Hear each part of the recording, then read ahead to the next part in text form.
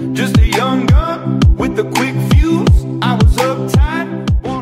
Hello diamonds, what's up? Welcome back to my channel and if you're new, I'm Manali and make sure you subscribe to my channel.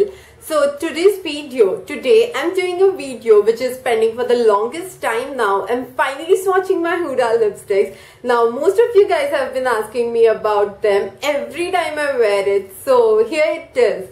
So first I have these lipsticks. This is the pink edition liquid matte minis and the packaging looks something like this. I know it looks kind of dirty now because I have been using it for months. And next I have this bigger one. My mom got this while she was in Thailand. So today I'll be swatching all the five lipsticks for you guys and the mini ones they contain about 1.9 ml of product and the applicator looks something like this. It's not too big not too small. I feel it's just perfect for comfortable application of the lipstick. So without any further ado let's get into the swatches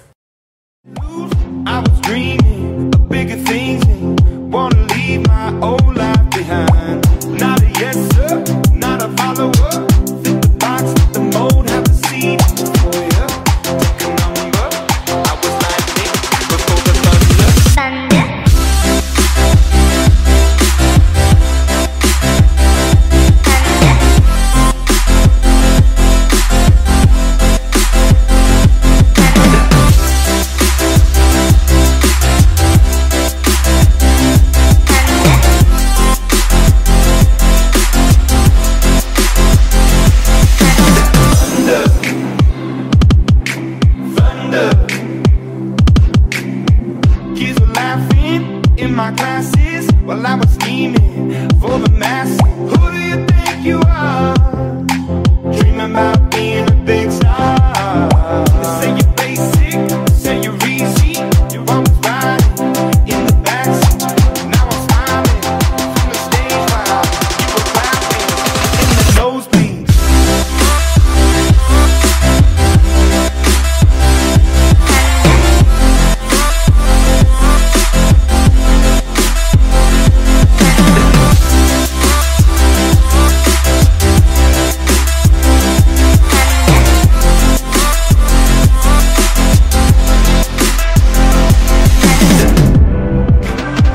Thunder, feel